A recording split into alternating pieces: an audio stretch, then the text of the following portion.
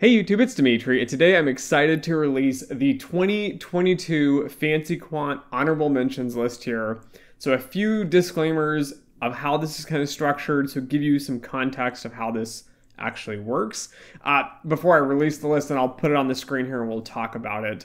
Uh, but first off here, there was an invitation list, as many of you know from a previous video. I will link it somehow above uh, or below in the description. But there was a list of invitations sent out to schools. Many schools, probably more than half, didn't even respond. So I followed up with the school email addresses. I followed up with professors at the universities specifically that were supposed to be directors or those leading the programs, and more than half just did not respond. So I'm just going to leave it at that. Not going to speculate on why. Uh, other programs responded and did not want to be ranked. They actually refused it outright. Uh, many were polite, said they're not interested, they just don't want anything to do with it. And so we have narrowed the list down here now. The Fancy Quant Honorable Mentions really has two tiers to the system now. It is going to have the full reviewed programs. They ended up with a gold Fancy Quant stamp of approval. These are the programs I highly, highly recommend because they were willing to provide a lot of information on the programs that is not available to you uh, to go online and to find. So they gave me extra information above and beyond. Um, I'll go through methodology a little bit, but not too much in this video. But again, we looked at things that were different, more qualitative in nature, again, being reviewed by me someone as an expert in quantitative finance, who's someone who actually works in the industry, uh, reviewing many things such as textbooks and student reviews and opinions on these programs, as well as the traditional metrics like you know employment rates, but also where are these students being placed, what type of jobs are they. Um, but it's going to be two parts here. That is the first part. These are the gold standard schools. They will also get a badge next to them based on what I view as their specialty.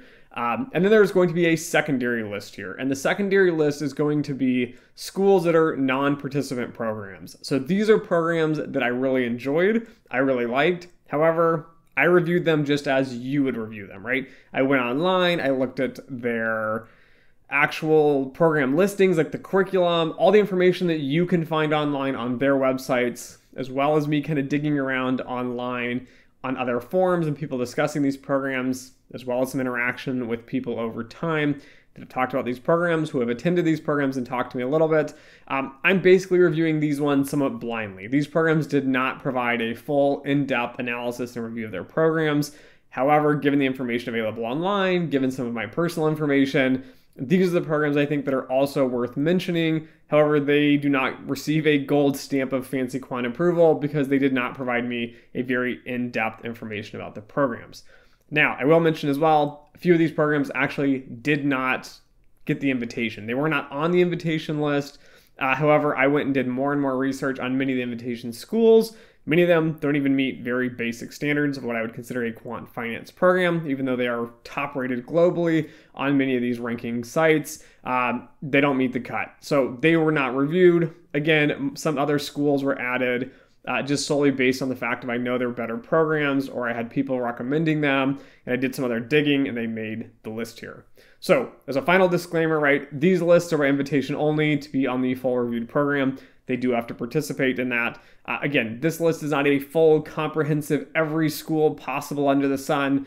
This is just trying to narrow down some of the best programs that I see out there. So, without further ado, I will release the official 22 Fancy Quant honorable mention here. Uh, the two schools are going to be Carnegie Mellon. So it shouldn't be a surprise to many of you. They have been top rated on many of the ranking charts for many, many years here. So even back into like 2012, uh, when I was looking at programs, 2011, 2010. Um, and then also the University of Michigan. So again, these schools provided a lot of information that other schools just didn't provide or didn't want to participate in. Uh, so Carnegie Mellon's program so I will do full video reviews of these programs and I will release more of the information, but perhaps not all of it. But I will give you some reasoning and justification in a full video on why I like the programs uh, and why I think you should apply there and who should apply there. Uh, but Carnegie Mellon's program gets the balanced badge.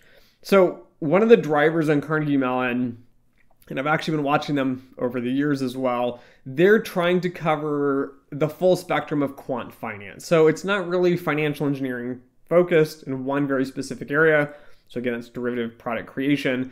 Uh, they're looking at trying to cover quant finance as a whole realm here. So they're covering computer science, math, stats, and finance all together simultaneously, and they do a fairly good job at balancing this. Now, I will note as well, they do not seem to focus on one type of student. So I like to see programs that pick out like computer science students and then train them to be quants, or they pick, you know, math students and train them to be quants. But in general, Carnegie Mellon seems to be looking at how do we find really, really smart students? Let's bring them in here. Uh, let's give them all the basic core tools here, which is extremely challenging, you know, in short durations of master's programs here. And then we'll actually send them out into the world well prepared for these sorts of jobs. So in general, it gets the balanced badge here. Uh, now, the University of Michigan, I will talk about this one again in its own separate video. Again, as I've already reviewed them in the past, but the University of Michigan's program is very math heavy and math focused here. So their program is going to be more focused towards again financial engineering applications there is a lot more stochastic calculus being covered uh, by the university of michigan than other programs that i have seen um, also as i'll release here as well students that are joining this you know cohort, cohort here that are joining the quant program here um, a large portion of these are going to come with math backgrounds and math degrees and then Michigan actually has high standards that you need to have a solid math background to really get into the program. And then to make the program better, which I like to see as well, uh, they continue on at a master or PhD level. So, some at that graduate level mathematics driven into the students to enhance and further your education here. So, Michigan is very math focused, which is why they got that badge. Okay, so now the non participant programs here. I'm going to list off Baruch here. I think they have done an amazing job over the years. Um, some of the contributing factors to this, again, they didn't go through the same rigorous uh, analysis as the first two programs with an actual fancy quant honorable mentions, uh, but they have good industry practitioners in their programs. Uh, they have a good blend of classes. Again, they are somewhat computer science focused, which seems to be part of their kind of drive at the school here. They don't get any badges because they're not actually ranked and I don't have inside information on them. But they've done a good job. They've handled well over the years, and the course mix again is rigorous, which you will see all of the programs below have a fairly rigorous background here. Uh, again, Columbia, industry practitioners involved, good core curriculum, um, just a good school overall. Again, I'm not going to go too much detail on these. Uh, Imperial College London is the only international program that made the list. So, unfortunately, many international programs are just business schools and MBAs tagged on as a financial engineering program. And I did find some other ones I thought were quite rigorous and mathematical and really good programs. Um, and then I was trying to communicate with them, trying to work with them. There was not a lot of communication. There were a few things in other international programs that worried me. Um, so something from like the classes offered, like they're kind of rigorous, and then all of a sudden you had like a bunch of finance classes involved, or it seems like they're trying to attract a bunch of business students, for example. And so I'm trying to figure out right I mean, what level of math are you teaching? What level of stats are you teaching? I don't have a lot of information on that. Uh, but Imperial College looked very robust.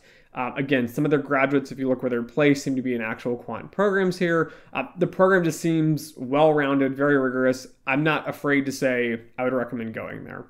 Uh, North Carolina State, somewhat an underdog here in the programs. Uh, NC State is extremely well known for their statistics programs. Uh, they have some of the best in the country. They have some of the best professors in statistics in the country. If you look them up for masters in stats, they're commonly rated for this. Uh, again, NC State is trying to get into financial mathematics. They have done very well. They are not as well known, but it's a state school, so it's typically a little bit cheaper than going to like a private school. Um, I think NC State would be a good consideration, and I have talked to quite a few of their students. Uh, NYU Tandon School of Engineering. Again, this has probably the highest, maybe the highest, somewhat the highest amount of industry practitioners teaching in the program.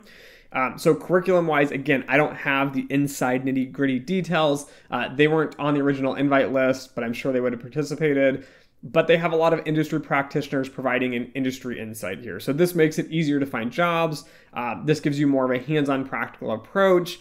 There are some solid coursework as well, though, in the traditional academic rigor, which I do like to see. Um, there's a little bit more of the finance side of it than other programs as well. So they'd probably be more of a balanced program than a specific program. But again, they have a well rounded program. It's solid. It's in New York City. Finding a job from NYU would be fairly easy. So they have made the list as well. And then finally, Rutgers. So Rutgers has multiple programs here. Be cautious. Uh, the Master of Science in Mathematics, financial mathematics specialization here. again, it is very rigorous. It seems to be quite driven on the math side, the application side. So I think it's a good academic program as well. And then, of course, location is going to be crucial here. So location is close to New York City. Uh, you can get to New York City. You can find jobs. You can interview. Being local makes it really easy to find jobs. So, anyways, this is the Fancy Quant Honorable Mentions 2020 list. I hope you guys enjoyed this video. If you did, don't forget to like, share, and subscribe. And as always, until next time.